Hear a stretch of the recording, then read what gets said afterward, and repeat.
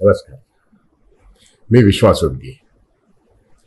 आजचा जो आपला व्हिडिओ आहे तो आत्ता जी अत्यंत भयानक अशी घटना घडली अत्यंत दुर्दैवी अशी जी घटना घडली ती म्हणजे नांदेडला. जवळजवळ पस्तीस लहान मुलं आणि काही त्यांच्या माता यांचा दुर्दैवी मृत्यू झाला. कारण काय?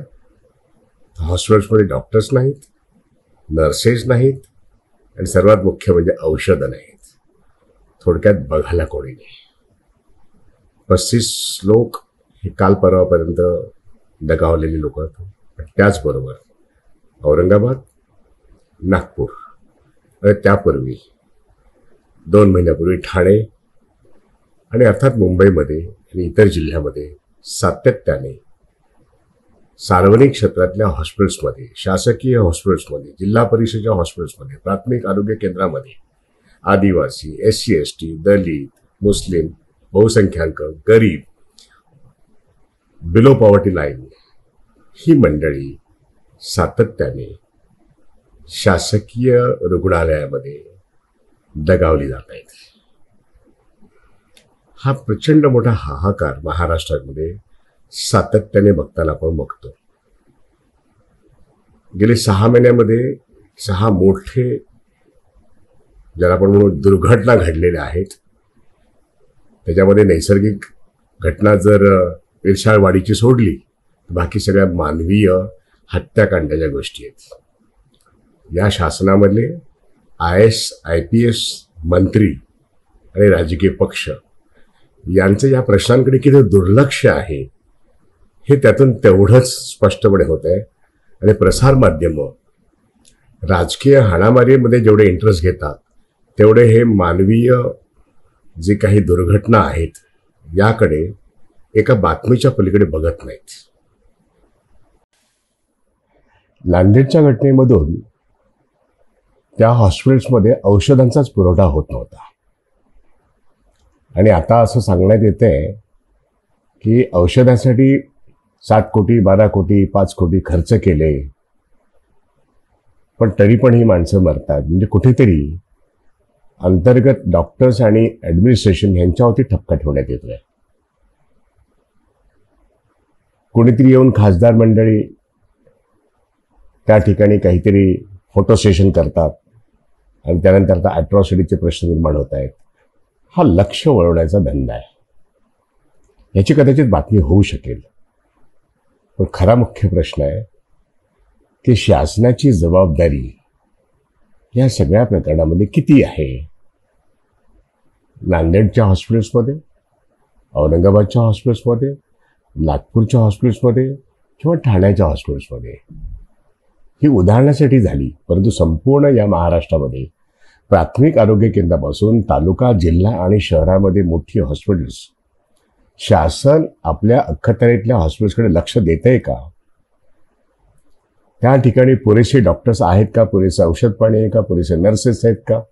आणि या महाराष्ट्रामध्ये ज्या आशा वर्कर्सवरती संपूर्ण आरोग्य यंत्रणा अवलंबून आहे त्यांच्या संख्या त्यांना दिलेली कामं आणि त्यांच्यावरची जी एम्पॉवरमेंट आहे त्यांना दिले त्याचं मानधन हे पुरेसं आहे का? आणि या सगळ्या प्रश्नांवरती आज महाराष्ट्र सरकार हेच खरं दोषी आहे. पुढची पिढी म्हणजे मुलांची पिढी. ती जन्मताच नष्ट होत आहे आणि ते केवळ औषधाच्या पुरवठ्यामुळे पुरवठा होत नसल्यामुळे आहे. याला जर शासकीय यंत्रणा जबाबदार असेल तर शासनामधले जे सेक्रेटरी महत्त्वाचे नोकरशाही मंत्री फोटो सेशनला धावणारे खासदार आमदार हे जबाबदार नाही आहेत हा प्रश्न आज लोक आक्रोश करून विचारत आहेत आणि म्हणून आज हा प्रश्न माध्यमांमध्ये चर्चेला येणार नाही कारण का संपूर्ण माध्यम. ही राजकीय हाणामारी असेल तरच ती बातमी बनते. आणि आपल्याला खरा प्रश्न जो चर्चेला घ्यायचा तो हा की या महाराष्ट्राची आरोग्य व्यवस्था नेमकी कोणत्या स्तरांवर आहे? राईट टू एज्युकेशन असताना सुद्धा एज्युकेशनचं व्हर्च्युअली बाजारीकरण झालेलं आहे आणि प्राथमिक शिक्षणापासून ते उच्च शिक्षणापर्यंत सामान्य माणसांच्या पलीकडे त्यांच्या हाताबाहेरच ते गेले आणि आता तर मुंबई महानगरपालिका असो किंवा महाराष्ट्र सरकार असो पासष्ट हजार शाळा या विक्रीला काढतायत. स्वतः बंद करणार स्वतःची एक संविधानिक जबाबदारी टाळणार तोच प्रश्न आरोग्याचा आहे. देशाच्या बजेटमध्ये ऐंशी हजार कोटीपेक्षा जास्त बजेट प्रोव्हिजन असून आयुष्मानची जाहिरात करायची. आणि या महाराष्ट्रामध्ये आयुष्मान आणि ज्योतिबा फुले आरोग्य योजना म्हणून पाच लाख आम्ही बी पी एलच्या खालच्या लोकांना मोफत पाच लाख देतो ही जाहिरात करायची. संपूर्ण मुंबईच्या आसपासच्या भागात फिरते दवाखाने म्हणून बाळासाहेबांच्या नावाने जे काही दवाखाने आहेत त्याच्यामध्ये काही प्रमाणामध्ये शहरी भागांमधून शहरी झोपडपट्ट्यांमधून काही लोकांना उपचार मिळतो बी पी एलच्या खालच्या लोकांना. परंतु ही आरोग्य व्यवस्था शासकीय यंत्रणेखाली जर आदर्शपणे करायची झाली तर आत्ता जी काही जाहिरातबाजी चालू आहे एवढ्याने पुरेसा आहे का? हे प्रश्न आता चर्चेला घेण्यात आवश्यक आहे. चर्चेला आणखीन एक मुद्दा येणं आवश्यक आहे. मुंबईच्या उच्च न्यायालयाने बॉम्बे हायकोर्टने मुख्य न्यायाधीश यांनी हा प्रश्न सुमोटो म्हणजे स्वतःहून केस घेतली आणि उद्या त्यांनी ती त्याचं लिस्टिंग केलेलं हिअरिंगसाठी सुनावणीसाठी आणि ज्या एका वकिलाने हा प्रश्न त्यांच्यापुढे एका पत्रांद्वारे मांडला त्याला त्यांनी सांगितलं एक रिसर पी आय फाईल करा आणि त्यांनी केलेलं आहे. त्यामुळे उद्या पहिली सुनावणी होईल आणि लगातार ह्याचं इन्व्हेस्टिगेशन होईल. अर्थातच पोलिसांच्या मार्फत अर्थातच महाराष्ट्राच्या शासनाच्या मार्फत हे इन्व्हेस्टिगेशन होईल आणि एक रिपोर्ट हा संपूर्णपणे मुख्य न्यायाधीशांपुढे येईल. अत्यंत महत्त्वाच्या क्षणी मुख्य न्यायाधीशांनी हस्तक्षेप केलेला आहे. हा फार महत्त्वाचा हस्तक्षेप आहे. या हस्तक्षेपामध्ये आणखीन जनतेचा पण हस्तक्षेप हवा ही आजची खरी गरज आहे. जनतेचा हस्तक्षेप कशा प्रमाणात हवा?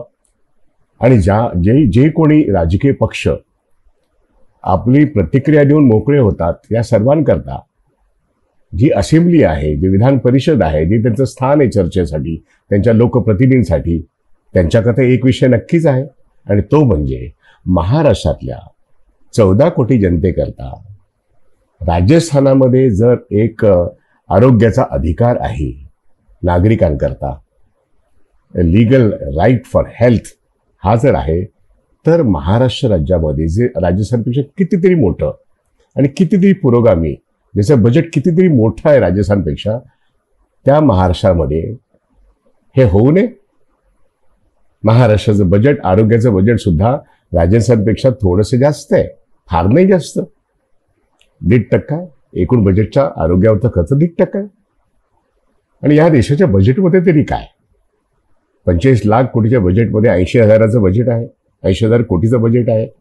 पण ते मुख्यतः या देशातला कॉर्पोरेट हेल्थ सेंटर आणि त्याच्यासाठी इन्फ्रास्ट्रक्चर याकरता ते ऐंशी हजार कोटी खर्च होत आहेत. ते शासकीय हॉस्पिटल निर्मिती औषध पाणी आणि गरिबांकरता मोफत उपचार याकरता हे ऐंशी हजार कोटी नाही आहेत राजस्थान सरकारने जे काँग्रेस शासित आहे त्यांनी अतिशय उत्कृष्ट उदाहरण घालून दिलेलं आहे. ज्याच्यावरती निश्चितपणे एक मूलभूत अधिकार संघर्ष समिती म्हणून जी संघटना आहे त्या संघटनेने मे महिन्यातच पत्रकार परिषद घेऊन काही भूमिका मांडल्या आणि सांगितलं की राजस्थान सरकार जर कायदेशीर अधिकार देऊ शकतं तर महाराष्ट्र सरकार आणि केंद्र सरकार का देणार नाही? आणि त्या ठिकाणी प्रश्न येतोय. जर काँग्रेस पक्ष या ठिकाणी इंडिया फॉर्मेशनमध्ये एक पुढाकार घेऊन काम करतोय तर मुंबई प्रदेश काँग्रेस असेल किंवा महाराष्ट्र प्रदेश काँग्रेस असेल यांनी या ठिकाणी पुढाकार घेऊन हे नांदेडचे प्रश्न हे नागपूरचे प्रश्न हे मुंबईचे प्रश्न ठाण्याचे प्रश्न जनतेचा उठाव व्हायला नको. असेंब्लीमध्ये बोलूच दिलं जात नाहीत हेही वस्तुस्थिती आहे. नाना पटोलेंनी हा प्रश्न असेंब्लीमध्ये उपस्थित करण्याचा प्रयत्न केला. त्यांनी मूलभूत अधिकार संघर्ष समितीमध्ये येऊन सांगितलं की मी हा प्रश्न की जनतेला आरोग्याचा अधिकार असला पाहिजे हे मांडेल पण त्याला संधी पण नाही मिळाली. उल्लेख त्यांनी केला. परंतु संपूर्ण काँग्रेस पक्षाने संपूर्ण इंडिया आघाडीतल्या सर्व अठ्ठावीस पक्षांनी हा प्रश्न जनतेसाठी जर प्रतिष्ठेचा केला नाही तर जनताने आपल्याला का वोट द्यावं? याचं जस्टिफिकेशन काय? सोनिया गांधींनी निर्माण केलेला R T R T E right to education आज संपूर्ण भाजप सरकारने मातीमोल केलेला आहे. आता आर टी ई मतमोल झालेला आहे. दोन्ही रोजगार पैदा होत नाही शिक्षणाच्या संधी मिळत नाहीत आणि जनतेच्या आरोग्याची एवढी हेळसांड. युपीमध्ये होते बिहारमध्ये होते आसाममध्ये होते सर्वत्र होते. महाराष्ट्रात जो पुरोगामी आणि पुढारेला महाराष्ट्र समजलं होतं त्याही ठिकाणी होते. या ठिकाणी राजकीय पक्ष आणि कामगार संघटना जनसंघटना आज त्यांची कृती नांदेड शहरातही दिसत नाही आहे सगळेजण प्रतिक्रिया देत आहेत तर प्रतिक्रिया देणं म्हणजे आपली जबाबदारी संपली असं नाही. त्यामुळे या नांदेडमध्ये काय घडलं याचे इन्व्हेस्टिगेशन रिपोर्ट्स मुंबईच्या हायकोर्टात येतीलच.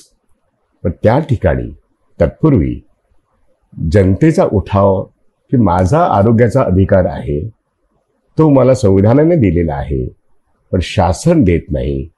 मी शासनाच्या बजेटमध्ये जी एस टीमधून पैसे जमा करतो. मी इन्कम टॅक्स पण भरतो. त्यातून महाराष्ट्र सरकारचं बजेट निर्माण होतं. व त्या बजेटमधून चौदा कोटीच्या महाराष्ट्राच्या हिंदू मुस्लिम शीख इसाई सर्व जाती धर्माचे लोक यांच्या आरोग्यावरती किती खर्च होतो? एकेकाळी के एम नावाचं अतिशय उत्कृष्ट मुंबई म्युन्सिपाल्टीने चाललेलं हॉस्पिटल्स होतं. होय मुंबईमध्ये जे जे आहे नायर आहे सायन हॉस्पिटल्स आहे. त्यामुळे मुंबईच्या जवळजवळ दोन सव्वा दोन कोटीच्या जनतेला ते सुरुवातीला खूप छान होतं. जेव्हा एक पन्नास लाखापर्यंत लोकसंख्या होती तोपर्यंत.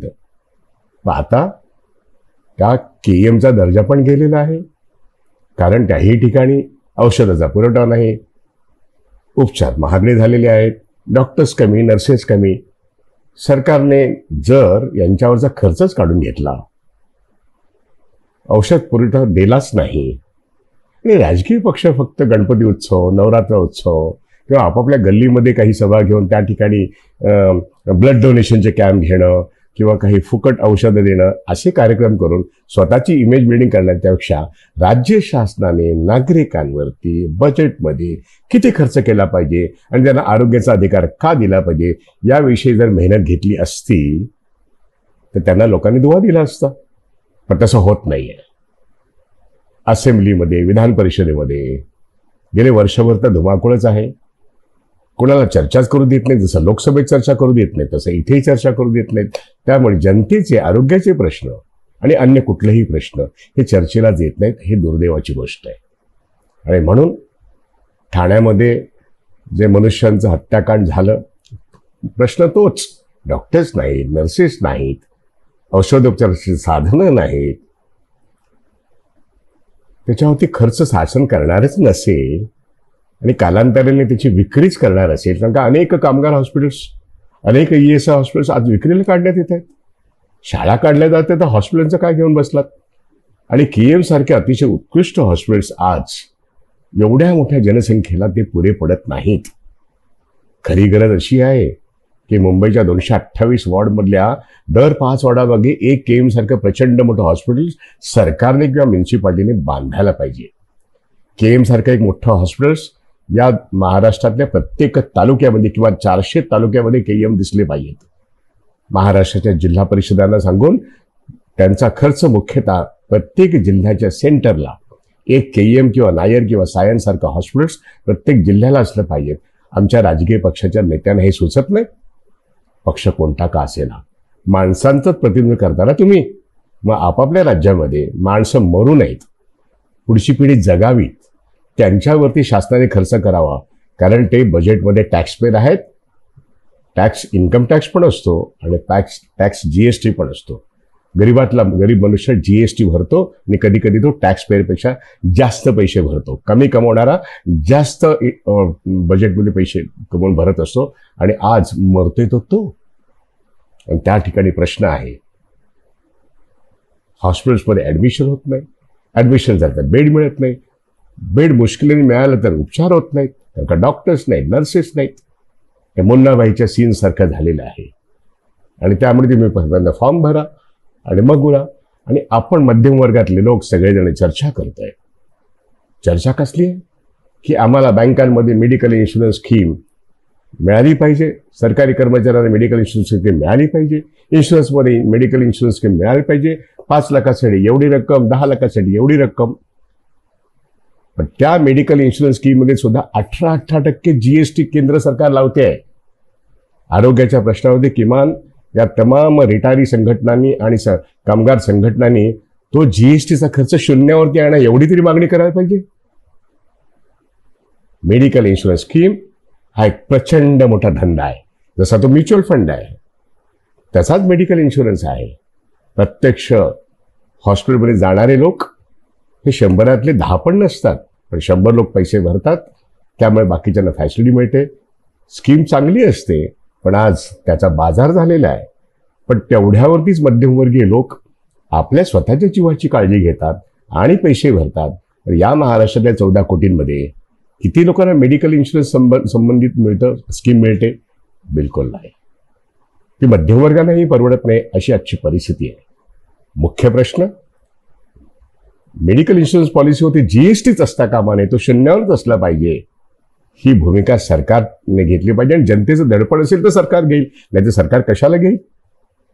शासनाचं संविधानामधलं कर्तव्य काय? राज्य शासनाचं काय? आणि केंद्र सरकारचं काय? याच्याविषयी सर्वसामान्य नागरिक आणि सुशिक्षित नागरिक जर बोलला नाही तर बीपीएलच्या खालच्यांना पाच लाखाच्या खाली आम्ही त्यांना पूर्णपणे मोफत सांगतो हे चक्क खोटं आहे. काही लोकांना तुम्ही करत असाल पण संपूर्ण या महाराष्ट्रातले बीपीएलच्या सर्वांनाच हे पाच लाख मिळत नाहीत कारण का त्यांना माहितीही नाहीये. आणि म्हणून राईट टू हेल्थ हा कायदा करून किमान दहा लाखांपर्यंत सर्व नागरिकांना त्यांच्या आरोग्याच्या सर्व सुविधा एंट्रीपासून ते एंडपर्यंत बरा होईपर्यंत हे शासनाने खर्च उभा केला पाहिजे. आणि शासनाने त्याकरता के एम सारखी हॉस्पिटल सर्वत्र निर्माण केली पाहिजे. पहिल्यांदा महाराष्ट्रातील सर्व प्राथमिक आरोग्य केंद्र ही अद्ययावत करणं अपडेट करणं सुसज्ज करणं तिथपासून ते जिल्ह्यापर्यंत आणि शहरांपर्यंत सरकारला दरवर्षी आठ टक्के बजेटचा खर्च या संपूर्ण महाराष्ट्राला जनतेने जर भाग पडलं सरकारला हे करायला तर आणि तरच फक्त एक चांगली आरोग्य व्यवस्था महाराष्ट्रात निर्माण होऊ शकेल. आपण गप्पा करतो अमेरिकेच्या आणि इंग्लंडच्या युरोपच्या त्याकरता तिथे चळवळी झालेल्या आहेत. या ठिकाणी लोकांना आरोग्यासाठी सुद्धा एक कायदेशीर अधिकार असला पाहिजे ही चळवळ करायला लागेल. स्पष्टपणे सांगायला लागेल. आमच्या आरोग्याची व्यवस्था दहा लाखापर्यंत मोफत करा आणि उत्पन्नाप्रमाणे जर काही रोगाचा खर्च जास्त असेल हॉस्पिटलेशनचा आम्हाला प्रत्येक हॉस्पिटलमध्ये एंट्री मिळाली पाहिजे. ती खाजगी हॉस्पिटल असो किंवा सार्वजनिक असो. पण सर्व सार्वजनिक हॉस्पिटल्स ही अद्ययावत करण्यासाठी शासनाने आपल्या बजेटमधून खर्च केला पाहिजे. इन्फ्रास्ट्रक्चर उभं करा यंत्रणा उभं करा. त्याकरता दरवर्षी आठ टक्के किंवा तीन वर्ष तरी एवढा खर्च केला. तर आता जी अपेक्षित जे आहे के एम सारखी हॉस्पिटल्स प्रत्येक ठिकाणी हे शक्य होतील आणि त्याकरता आजचा व्हिडिओ आहे. निमित्त नांदेड आहे निमित्त ठाणा आहे निमित्त नागपूर आहे निमित्त औरंगाबाद आहे. पण मूलभूत विचार करून मूलभूत अधिकारासाठी जनता जर लढू लागली नाही तर मग आपल्या डोक्यावरती पक्ष फोडून पक्ष हायर करून माणसे विकत घेऊन आपल्या सरकारवरती कडबोळ सरकार लादणं हे आपण उघड्या डोळे बघणं एवढंच आपलं प्राप्तन आहे? का? या संविधानातले मूलभूत अधिकार ते टिकवण्यासाठी आणि वाढवण्यासाठी ते निदान समजून घेऊन डॉक्टर बाबासाहेब आंबेडकरांनी आणि अर्थातच महात्मा गांधींनी या पद्धतीने हा देश उभा करण्याचा प्रयत्न केला. तो देश आज मोडला जातोय. उदारीकरणाच्या गेल्या तीस वर्षाच्या कालखंडामध्ये सगळ्याच गोष्टी विकायच्या गोष्टीमध्ये आज मोदी सरकार सगळ्याच गोष्टी विकतंय. पण विकून ते कोणाला विकतंय? आणि आपण वेट भिकारी आणि गुलामीच्या अवस्थेत विना आरोग्य मरून जाणं अशी एक अवस्था? त्यामुळे नांदेडला रोज बालकं मरतायत औषधाच्या उपचारानं आणि त्यांच्या माताही मरतायत. ही भयानक गोष्ट हे मानवी हत्याकांड ज्याला शासन जबाबदार आहे. तिथल्या डॉक्टर्स होती केसेस करून? एवढा प्रश्न सुटणारा नाही आहे तो निष्काळजी असू शकतो. पण ज्या ठिकाणी तीनशे चारशे डॉक्टर्स हवेत त्या ठिकाणी जर पन्नासच डॉक्टर काम करत असतील तर मग कसं होईल? त्या डॉक्टरांना दोष देऊन चालणार नाही. सर्वांनी काम केलंच पाहिजे. नर्सेसनी काम केलं पाहिजे. आशा वर्करनी काम केलं पाहिजे. डॉक्टरनी काम केलं. पण औषध पुरवठा आणि इन्फ्रास्ट्रक्चर त्यांनी त्यांच्या खिशातून द्यावं. अशी सरकारची अपेक्षा आणि त्यामुळे मुंबईच्या उच्च न्यायालयामध्ये ह्या सगळ्या प्रश्नांची चर्चा होईल अपेक्षक अपेक्षा आहे. परंतु एक महत्त्वाचा प्रश्न मुंबई उच्च न्यायालयाने तो हाती घेतला याबद्दल उच्च न्यायालयाचं अभिनंदन करणं आवश्यक आहे. पण सगळेच प्रश्न उच्च न्यायालय सोडवेल असं नाही. या उच्च न्यायालयातून महाराष्ट्र सरकारने बोध घेऊन चीफ सेक्रेटरीपासून ते मुख्यमंत्र्यांपासून ते सगळे मंत्री यांनी बोध घेणं आवश्यक आहे आणि त्यांची अकाउंटेबिलिटी जनतेने तपासण्याची आवश्यक आहे. आणि जनतेचे प्रतिनिधी म्हणवणारे जे कोणी इंडियातले पक्ष आहेत आणि भारतीय जनता पक्षाला मी वेगळं करत नाही तोही एक राजकीय पक्ष आहे. पण सगळ्या चुकीच्या गोष्टीचं समर्थन करत राहणं म्हणजे राजकारण नव्हे. जनतेला जगवण्याचं राजकारण हे खरं राजकारण आहे आणि ते जर तुम्ही करत नसाल तर तुम्हाला सत्तेवरून घालवायला लागेल. आणि म्हणून नांदेडच्या निमित्ताने आरोग्याचा प्रश्न हा ऐरणीवर आलेला आहे. आणि मूलभूत अधिकार संघर्ष समिती किमान या एका संस्थेने एक डॉक्युमेंट की बाबा आरोग्याचा हा मसुदा महाराष्ट्र सरकारने स्वीकारावा आणि तो केंद्र सरकारने पण स्वीकारावा. आणि ज्यांना मत हवंय जनतेचं त्या जनतेने हे सांगितलं पाहिजे. जर तुम्ही मला आरोग्याचा अधिकार देणार असाल आणि आमचा शासकीय खर्च आमच्यावरती दरडोई जे आजारी असतील त्यांच्यावरती लाख दहा लाख रुपयापर्यंत तुम्ही मोफत देणार असाल. आणि मेडिकल इन्शुरन्स हा एक पूरक असेल सप्लिमेंटरी असेल कॉम्प्लिमेंटरी असेल. Medical insurance cannot be the substitute of infrastructure facilities. आणि म्हणून सर्वांनी आपलं डोकं ताळावर ठेवून. आपल्या पैशातून हे सरकार निर्माण होतं आणि आपण निवडून देतो ते शासन असतं. हे शासन जर अकाउंटेबल करायचं असेल तर त्यांना आपल्या अधिकारावरती कायदेशीर अधिकारावरती आज कोर्टाने त्यांना सुवमोठो खेचलं आहे पण प्रत्येक जनतेने जे अकाउंटेबल आहेत निर्णय घ्यायला त्यांना आपण केलंच पाहिजे. शासकीय खर्च आणि खाजगी खर्च ह्याच्यामधून आपल्याला आज सरकार फक्त प्रत्येक गोष्ट कंटाळी पद्धतीने करते आणि म्हणून कंटाळदारांचं सरकार जनतेने फेकून द्यायला पाहिजे आणि मूलभूत अधिकारांना आपण जवळ केलं पाहिजे. शासनाची काही जबाबदारी आहे आणि शासन हे संविधानातही चालणार असलं पाहिजे. मनमानीप्रमाणे नव्हे जाहिरातींवरती नव्हे आणि म्हणून नांदेडच्या निमित्ताने नांदेडमध्ये जो दुर्दैवी घटना घडलेली आहे त्याचे पडसाद सातत्याने उमटत राहत आहेत उद्यापासून मुंबई हायकोर्टातली चौकशी काय त्याचं स्वरूप असेल हे सांगणं कठीण आहे.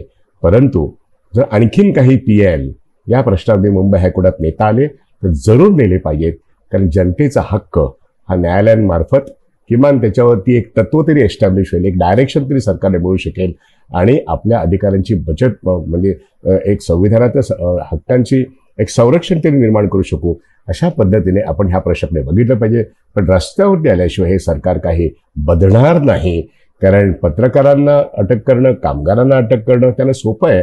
आणि आता माणसं जेव्हा मरतायत तेव्हा सरकार अशा परिस्थितीमध्ये अधिक काळ टिकून देणं हेही आवश्यक आहे. पण जे काही टिकेल काही काळापर्यंत इलेक्शन्स होईपर्यंत तोपर्यंत त्यांना कामाला लावणं हे अत्यंत आवश्यक आहे. म्हणून हा व्हिडिओ आहे. हा व्हिडिओ सर्व लोकांपर्यंत नेणं ही एक कर्तव्याची भावना ठेवून आपण नेऊया परंतु राईट टू हेल्थ आरोग्याचा जन आरोग्याचा एक अधिकार मिळेपर्यंत हा लढा चालू ठेवणं आवश्यक आहे. आणि मे चोवीसपर्यंत राज्य सरकार असेल किंवा केंद्र सरकार असेल त्यांनी आपल्या जनतेकरता आपल्या बजेटमधून दरवर्षी किमान आठ टक्के किमान तीन वर्ष ही तरतूद केली तर आरोग्याचे काही प्रश्न काही प्रमाणात सुटल्याचे दिसेल. अन्यथा आपल्या पुढच्या पिढीचं मरण आहे. ते होऊ नये याकरता आपण काम केलं पाहिजे. धन्यवाद. इथेच थांबतो. हा व्हिडिओ कृपया जनतेपर्यंत नेणं आवश्यक आहे असं मला वाटतं. आपण हे ते करावं. धन्यवाद.